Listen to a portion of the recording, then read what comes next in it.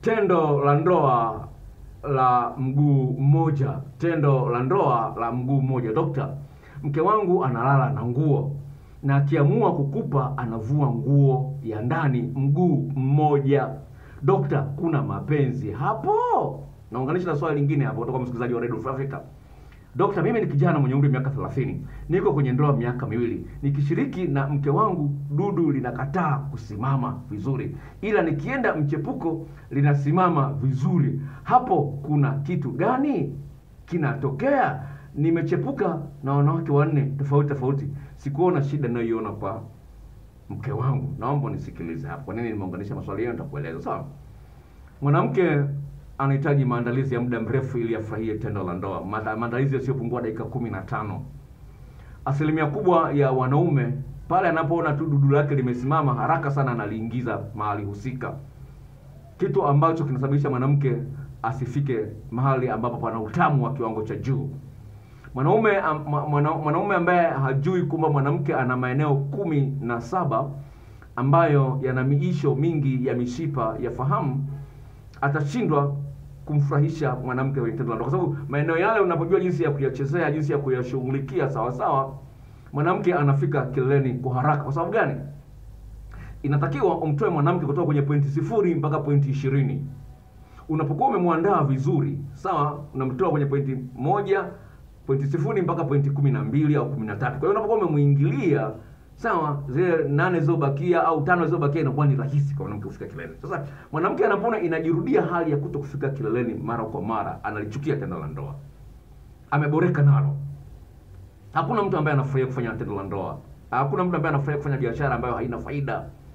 Kwa ni wajibu wako ujue kwamba kumwandaa mwanamke kwa muda mrefu inatosha, na iwapo una tatizo la kuwahi kumaliza, vile vile utashindwa kumridhisha mwanamke. Iwapo una maumbile membamba au mafupi, utapata shida kumridhisha mwanamke. Kwa hiyo basi, jambo la msingi mwanamke, mwanaume ujiongeze, ujue vitu gani vya kumfanyia mwanamke ili afurahie tendo la ndoa. Sasa yale maeneo kumi na saba ukiyajua, unapokuwa unafanya mapenzi, tendo la ndoa na mwanamke leo, unaweza kutumia maeneo nane. Sawa? Siku nyingine maeneo tisa. Siku nyingine unapokuwa maeneo sita. Kwa hiyo mwanamke hajui utashika wapi utafanya nini leo sasa ile inasaidia apate msisimko ambao unamsaidia mwanamke afike kileleni kwa urahisi. Sasa ukiwa unafahamu mambo matatu tu ya kumfanyia mwanamke unafahamu maeneo matatu tu katika mwili wake ya kuchezea mwanamke atakuwa amekalili utaanzia wapi anajua utaanzia wapi utaishia wapi. Hiyo inaboa. Ikimboa kwa hiyo kwenye akili yake ana switch off. Yaani anafunga mlango kwamba bwana tendo la ndoa halina raha na huyu mwanaume. Ndio hapo anakuvalia nguo analala na nguo hataki tendo la ndoa. Lakini kwa sababu wewe ni mume wake anajua kwamba wewe ni mume wake na hana mpango wa kuvunja ndoa atakupa kishingo upande atakupa tendo la ndoa kinyonge. Ndio hivyo. Anavua chupi mguu mmoja mwingine. Ili ukimaliza tu tayari amevaa. Ah hataki wa kurudi ah hataki tena. Na mwanamke mwingine alishamsikia analala na kisu. Analala na kisu anasema bwana ukinigusa tu mimi nakuchoma kisu. Analala na kisu mwanamke. Ameshachukia hiyo hali sasa ndio huyu mwanaume ambaye ameboleka na mke wake na ni kujua ametuma hii swali. Anasema kwamba kwa mke wangu nashindwa kusimamisha. Kwa mwanamke wa nje nasimamisha vizuri. Naomba nisikilize. Sawa. Unapokuwa umemzoea mwanamke sawa unapokuwa umemzoea mwanamke hisia zako zinaanza kuwekewa vikwazo au matuta. Unafahamu mke wako matatizo yake madhaifu yake alionayo unayajua huwa anachelewaga kupika. Ni mgumu kidogo kusema samahani. Anapenda sana pesa au vipi whatever it is au mchafu. Kwa hiyo kuna vitu ambavyo unaviona kwa mke wako ambavyo huvipendi. Sasa vile kwenye akili yako zinawekea matuta hisia. Kwa hiyo inakuwa vigumu hisia zako kuruka yale matuta vile viunzi. Kwa hiyo unakuta kuna hisia na mke wako kabisa. Lakini mwanamke ambaye hufahamu matatizo yake inakuwa ni rahisi unaogopa kumwambia mwanamke mke wako madhaifu yake. Unakutana na kesi mwanamke anaweka password kwenye simu yake mwanaume analalamika dokta mke wangu aweka password. Sasa utajikuta huna hisia na huyu mwanamke. Ukikuta huna hisia na yeye mwanamke naye anaona kwamba ah, mbona siku hizi mume wangu hana hisia na mimi? Yeye hajui madhaifu yake.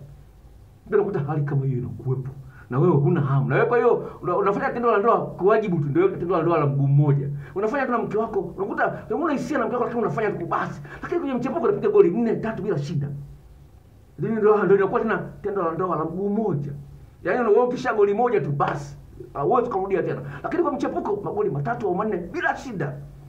Sasa solution ni nini? Jinsi gani utengeneza ukaribu na mke wako. Kama ana ma- ma- madhaifu, mwambie. Jitahidi kuwa na muda ukaa na kuongea na mke wako ili apate nafasi ya fursa ya kuambia madhaifu madhaifu yako. Whatever it is, muda kukaa na kuongea na mke wako ni jambo la msingi sana, kwa sababu unapoongea na mke wako unajenga hisia naye. Sasa muda wa kuongea na mke wako huna, uta- utajengaje hisia na huyo mke wako? kinaitwa kwenye saikolojia wanaita interpersonal synchronization. Imethibitishwa kabisa. Kama unafahamu Kiingereza, angalia Google utafute. Kwamba muda wa kukaa na kuongea mna- mnaangaliana macho kwa macho inasababisha unatengeneza mshikamano wa kihisia tofauti. wa- wa- Wanasayansi wamefanya utafiti huo. Mkiwa mmepeana mgongo lakini mnaongea, yani mmepeana mgongo lakini mnaongea ni tofauti. Sasa kuna kitu kinaitwa skin contact, uh, conductivity. Yaani wanapima ngozi yako, jinsi gani ngozi yako inaweza kukamata umeme. Sasa mkiwa mnaongea mnatazamana uso kwa uso, ngozi yako inakuwa na uwezo mkubwa wa, wa kukamata hisia kuliko kama mnaongea mgongo kwa mgongo. yani wewe umeangalia kule, umeangalia umeangalia mashariki, mwenzio mwenzio ameangalia magharibi. Mmepeana migongo. Anasema hiyo inasababisha watu wanapotezana hisia kwa staili kama hiyo. Ndio pale mnapokosa uh, kwenye kwenye, zile uh, lugha tano za mapenzi za kupendana, five uh, languages of love kinaitwa kitu kinaitwa quality time, muda wa kukaa, huna haraka, huangalii simu, huangalii TV, mnakaa mnaongea. Ndio maana ni